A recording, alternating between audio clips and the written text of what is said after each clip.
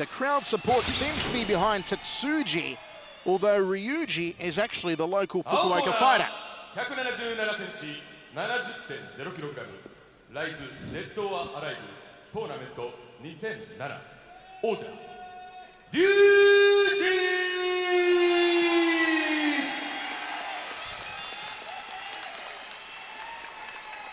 赤コーナー174センチ70.0キログラム K1 ワールドマックス日本トーナメント2006-2007準優勝達人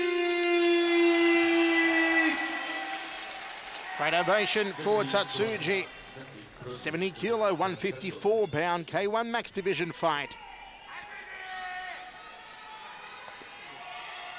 As both men get the final instructions, Ryuji in the blue corner, Tatsuji in the red corner. Tatsuji, as I said, coming off that loss to Yuya Yamamoto last time out. Ryuji losing to Hayato in an absolutely cracking fight back in 2000, uh, 2008. And we are ready to roll three by three minute rounds.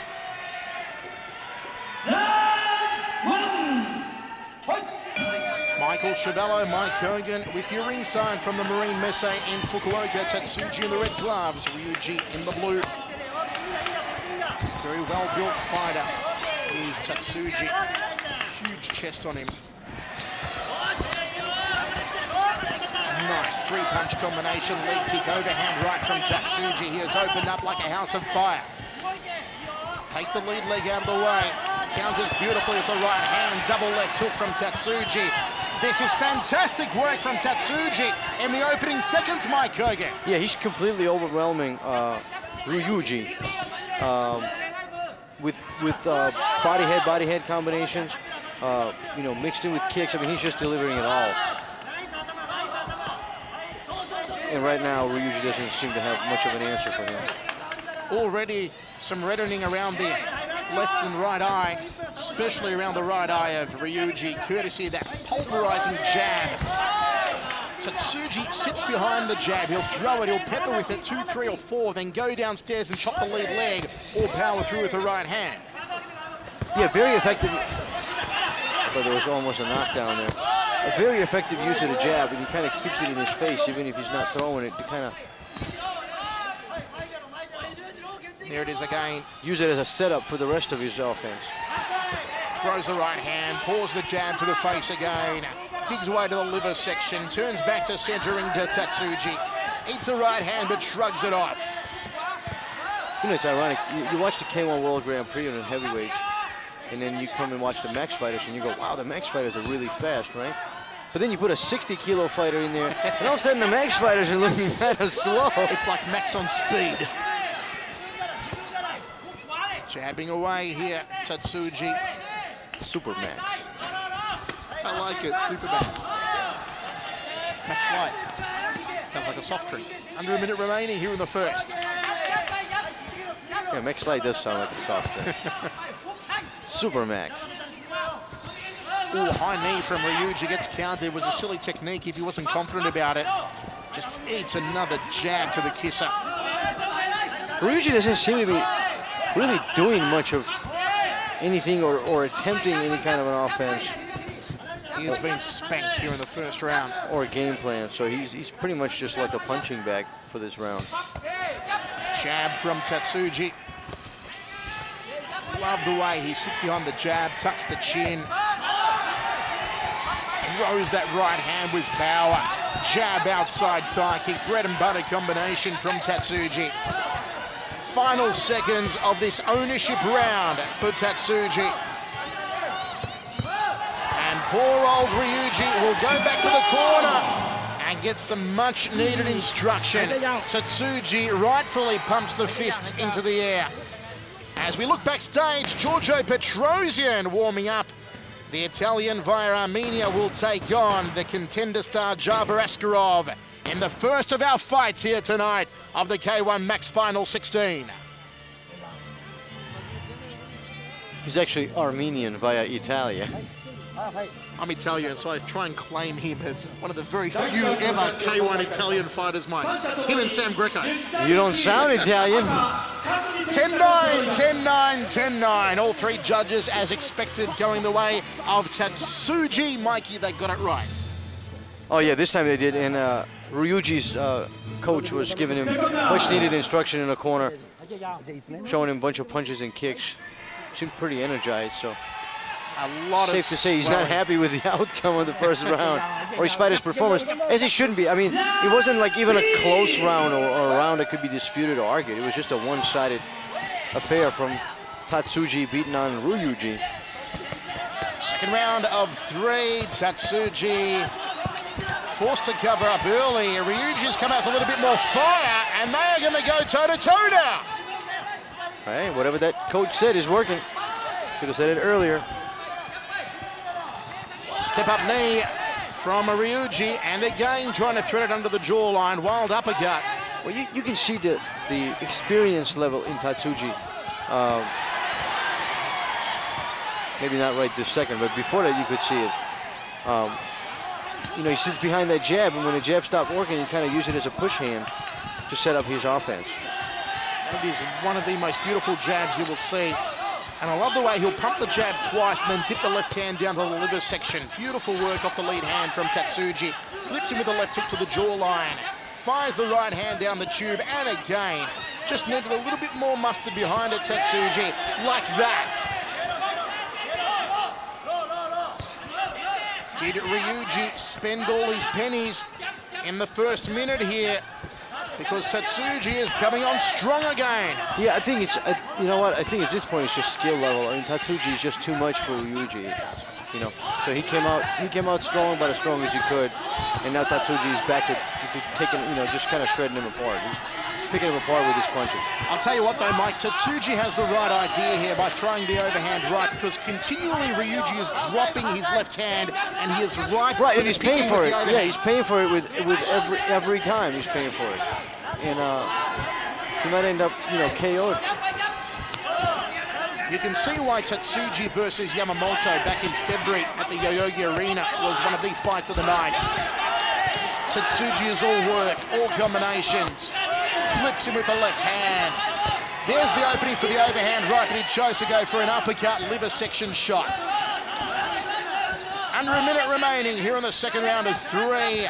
Ryuji controlled the first minute.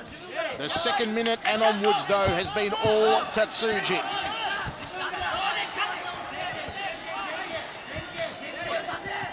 Plenty of instructions coming from the corner of Ryuji. They're a little bit more silent, but no doubt very happy in the corner of Tatsuji. There's a good right hand from Ryuji. Just didn't have the pepper behind it again. Needs to turn the body through and not just punch off the shoulders.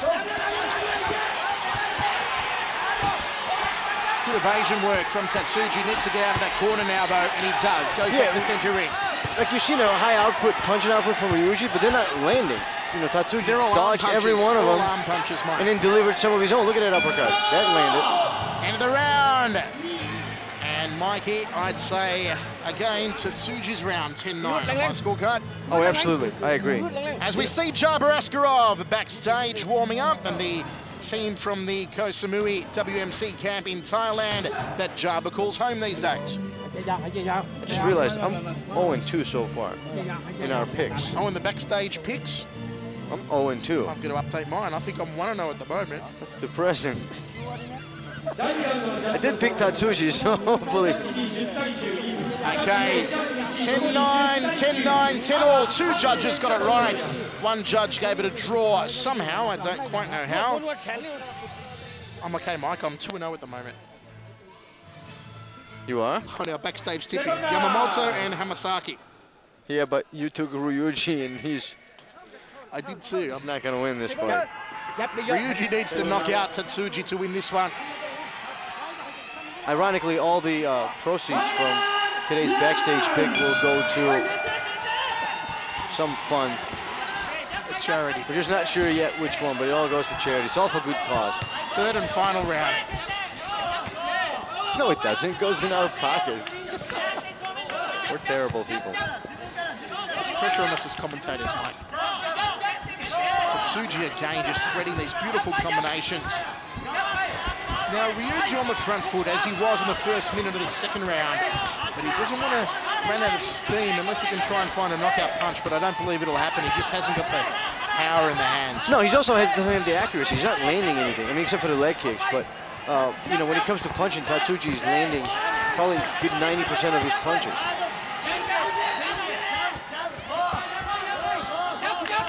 You know, I mean, uh, props to Ryuji for having a lot of heart and not backing down and constantly, you know, trying to win the fight. Nice right hand from Ryuji. Mike, he certainly hit Tatsuji on a number of occasions with clean right hands, but just no power behind them. Well, and there's also isolated incidents. You know, uh, Tatsuji's coming back with two, three, four punch combinations with, with three out of four punches landing. You know, you, you can't win a fight with a single, you know, with, with a one here, one there. Tatsuji looking for the meet and greet with the knee, a right hand outside thigh kick. And we may see a repeat of the last round where Tatsuji brings it home strongly in the last minute and a half. You know, they were talking about that at the rules meeting yesterday. Cup the head, you know, no clinching, but you can clinch the head, spin, and, and deliver a knee. So I guess uh, Tatsuji was taking his notes. The crowd starting to rally for Ryuji, the local fighter, as he backs Tatsuji in the red corner, but still can't find the power salvo. High knee from Ryuji, rallying back here in the third round, Ryuji, showing tremendous heart. This is just a fantastic contest of intestinal fortitude. I think both fighters are pretty exhausted at this point. So there doesn't seem to be much power in either one of their punches. They haven't stopped, Mike. They have not stopped.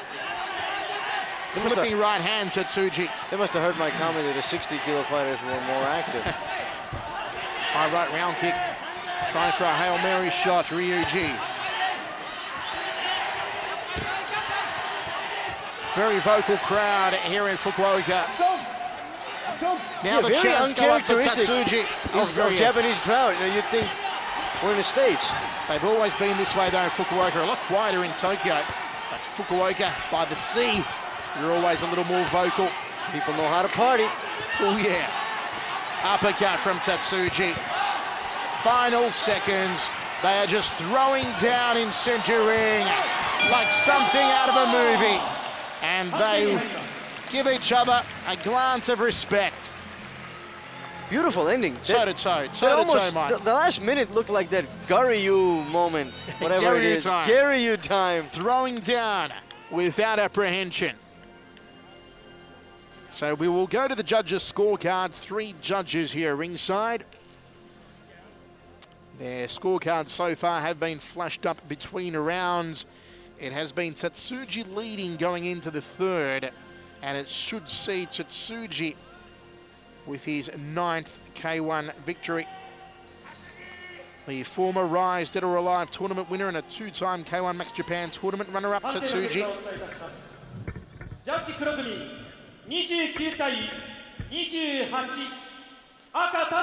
First judge gives it Tatsuji 29 28 Second judge, a draw, 29-29.